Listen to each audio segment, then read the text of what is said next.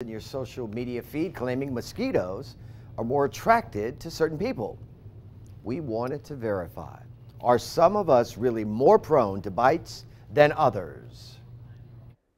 Our verified sources include one local mosquito expert, Sandy Brogren at the Metropolitan Mosquito Control District, and two of the world's most renowned experts on mosquito attraction, Dr. Jonathan Day at the University of Florida and the team at the London School of Hygiene and Tropical Medicine.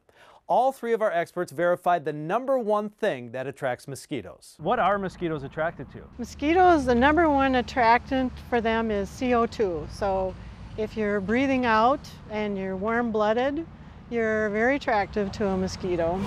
So that makes the claim that exercise and sweat attracts mosquitoes true.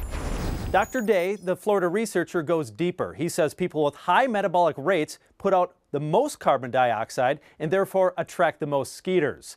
So who has higher metabolic rates? Well, pregnant women and beer drinkers. Therefore, Dr. Day and the London School verify the claim those people attract more mosquitoes. What about blood type?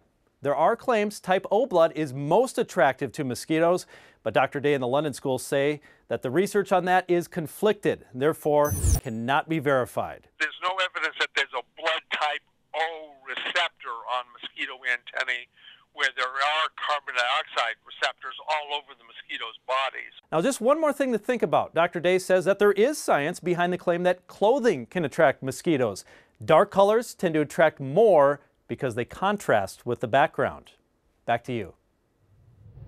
So stand next to a pregnant woman or